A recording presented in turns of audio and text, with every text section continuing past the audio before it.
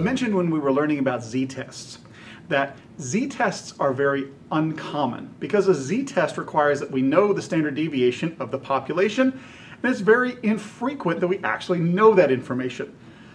We need an alternative test, one that we can do in times when we do not know the standard deviation of the population.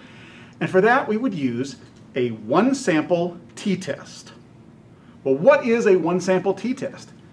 It is a parametric procedure that tests whether a sample mean is statistically significantly different than a population mean when the standard deviation of the population is unknown. So as we look at this example with the polar bears, there's a, a population of polar bears that walks an average of 100 miles per week. That is our population value. We've drawn a sample from that population, which walks an average of 150 miles per week. And the standard deviation of that sample is 9. Well, that's important because we do not know the standard deviation of the population. We can estimate the standard deviation of the population using the standard deviation from the sample. However, when we do that, we have to adjust our sample size by 1, n minus 1, what we call degrees of freedom. That adjustment will allow us to use the standard deviation of the sample as an estimator.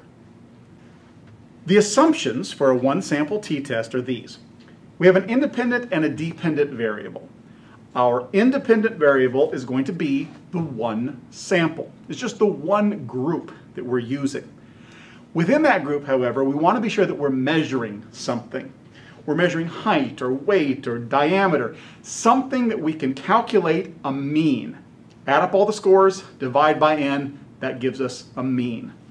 So we have our one sample as our independent variable, a measurement as our dependent variable, and then we want to be sure to check for some other assumptions that are built into this test. For instance, we want to be sure that there are no extreme outliers in our data set. We want to be sure that we don't have any missing data in our data set and that the participants or the subjects in the data set were selected randomly independent of each other and that the scores of one person do not affect the scores of others in the sample. The last assumption is normality, and that is something we can check with our statistical software, whether that's Excel or JASP or SPSS or R. Important that we check these assumptions because if the assumptions have been violated, the conclusions that we draw from our data may not be accurate. There are certain settings that we want to know for every test. For the one sample z-test, the settings are these. The null hypothesis simply says that the sample mean equals the population mean. We would write this in symbols as h sub 0 colon mu equals mu sub 0. But the mu sub 0 is actually going to be a number. We're going to plug in the mean of the population where it says mu sub 0. The alternative hypothesis is h sub 1 colon mu does not equal mu sub 0. And again, we will plug in the mean of the population for the where it says mu sub 0. Plug in those numbers. The alpha level is typically set to 0.05. Our degrees of freedom for this type of test, n minus 1. The critical value is based upon the degrees of freedom and the alpha, in this case 0.05, we would then look up a particular critical value using students' t-distribution table. And I'll show you an example of that when we get to this part of the hypothesis testing. We're going to assume that we're using a 0.05 alpha level for a two-tailed test. There may be exceptions to that, but for our learning, that will be a safe assumption to make for these tests. So here is what we're going to measure. Here's the test that we're going to use. We read a story in Martha Stewart Correctional Quarterly that tells us that the national average score for women on a test of indoor gardening is 73, but there's no standard deviation. We want to know how men will score on this test. We sample a random selection of nine men and compare their sample mean of 66.56 to the population mean for women. The sample of men is assumed to be pulled from a population of men who have the same mean as the women. In other words, the population mean of 73. We sample nine men who generate a mean of 66.56. We'll start with a null hypothesis that the men's mean is 73, no different from the mean for women. And here's how we would walk through our five steps of hypothesis testing. Step number one, select the appropriate statistic. We have a single sample with a mean and a known population value. However, we do not know the standard deviation of the population. This is the setup for a one sample t-test. The null and alternative hypothesis for a one sample t-test will be null h sub 0 colon mu equals 73. 73 is the mean for the population. I've plugged it in where formerly it said mu sub 0. The alternative hypothesis, h sub 1 colon, mu does not equal 73. The level of significance, we're going to be using a two-tailed test at an alpha of 0.05 with 8 degrees of freedom. There were 9 men in our sample, n minus 1, or 9 minus 1, gives us 8 degrees of freedom.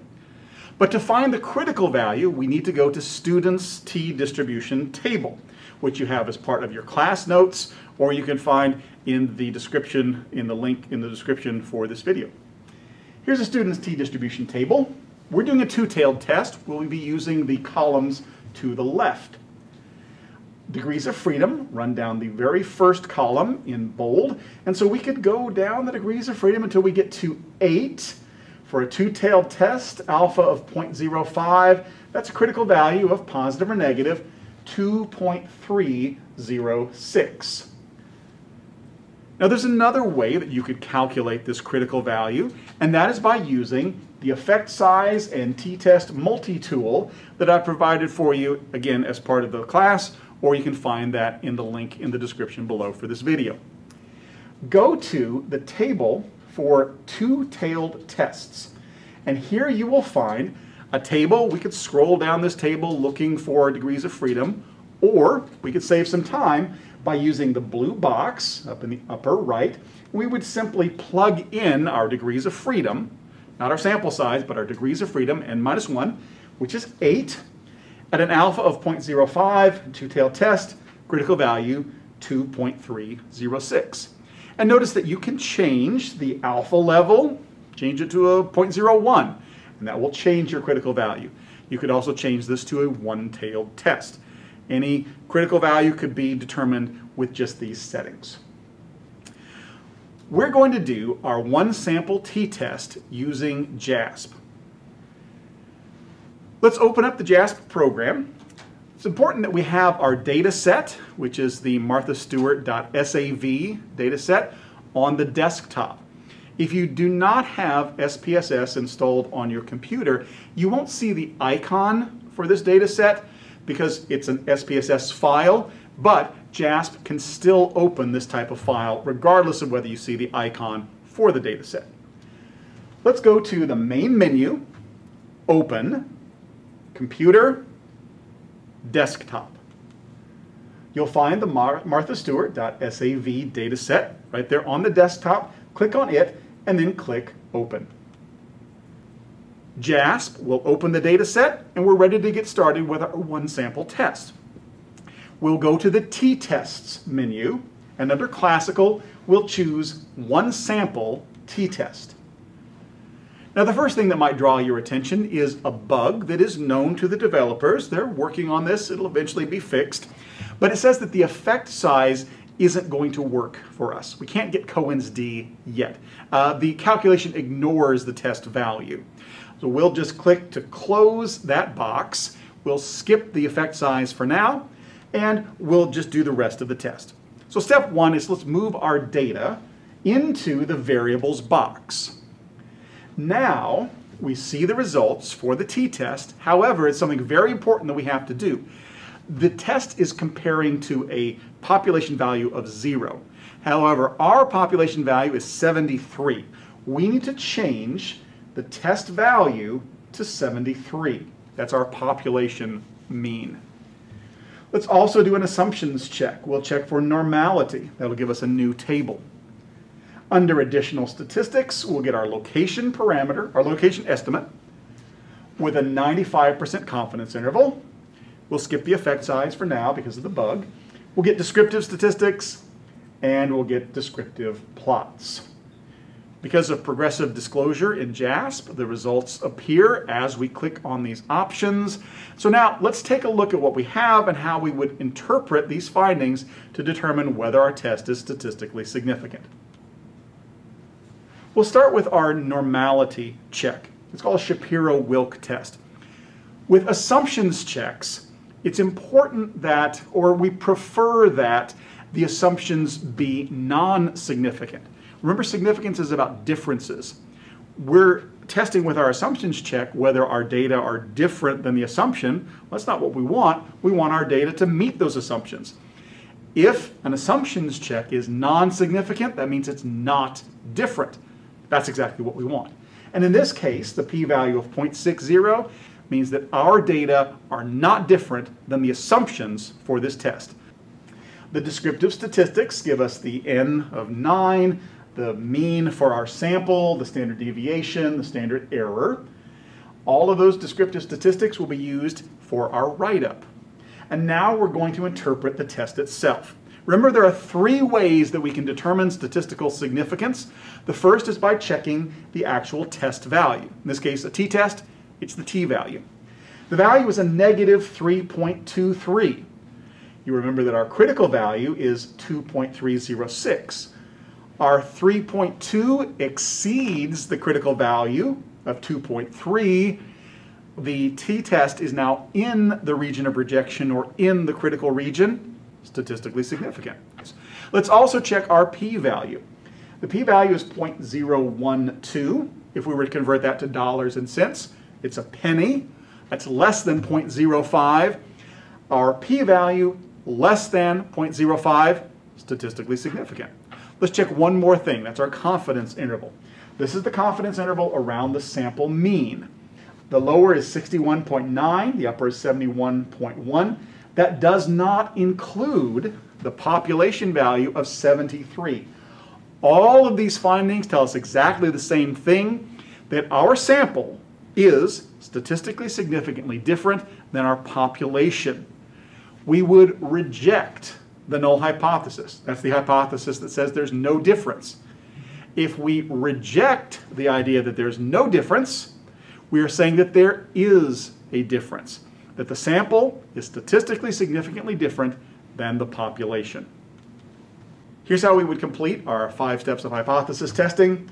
For step number four, we have t with 8 degrees of freedom equals a negative 3.23, probability of 0.012. And this tells us that men scored significantly lower than women on this test. Let's write up our findings in APA style. Here's how we would do that. A one sample t-test was conducted to determine whether men score differently than women on a test of indoor gardening, a population with a mean of 73. The mean scores for men, 66.56, standard deviation of 5.98, were significantly lower than for women, t with 8 degrees of freedom equals negative 3.23. Probability equals 0.012.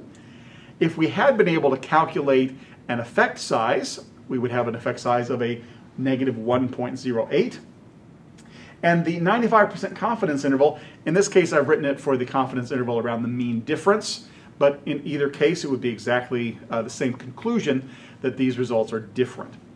So this suggests a gender difference in gardening skills. I want to return to JASP for just a moment and show you how you would do this kind of test as a one-tailed test.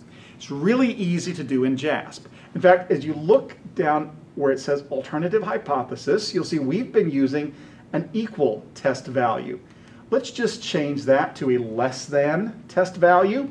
And now we're doing a one-tailed test. Look at our t-test results. You'll see that the sample mean is exactly the same, but the confidence interval is now a negative infinity to an upper value of 70.26. Our p-value is still very, very small, and our t score does not change at all. So that is how we would do a one-tailed test using JASP.